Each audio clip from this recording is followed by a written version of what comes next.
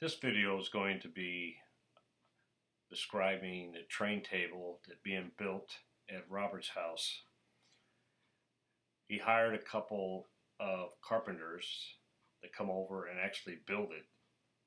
He took the drawings that a few of us came together at his house and put a sketch together and he just turned it over to the carpenters and these guys are super.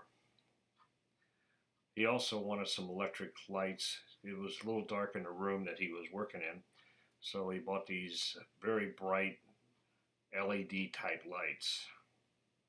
As you can see by the building uh, the, by the carpenters, it looks like they're doing an excellent job.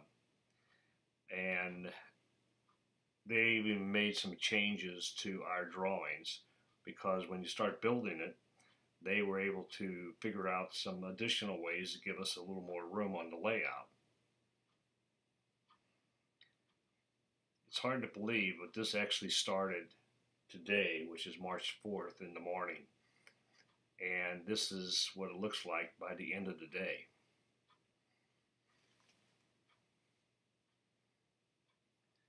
But I guess if you're an expert carpenter,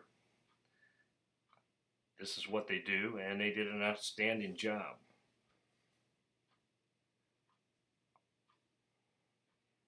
As you can see, there's no legs coming down from the table. It all goes and connects into the concrete wall.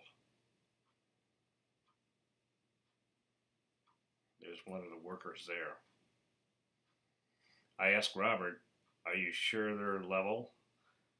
And he said, I'll go take a picture and I'll send it to you. Well, there you go. That's pretty perfect. Now they were getting to the point of putting the plywood on top of the table or on top of the frame and it's coming together very nicely as you can see here.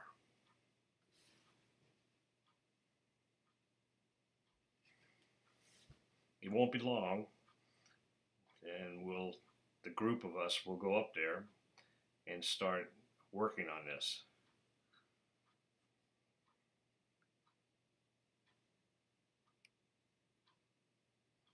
For the guys that help draw this out, you can see it's coming together exactly or very close to how we drew the picture.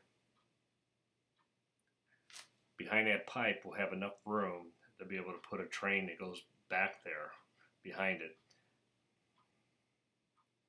And for our controls, the power packs and all that, the carpenter built him this particular uh, shelving in here.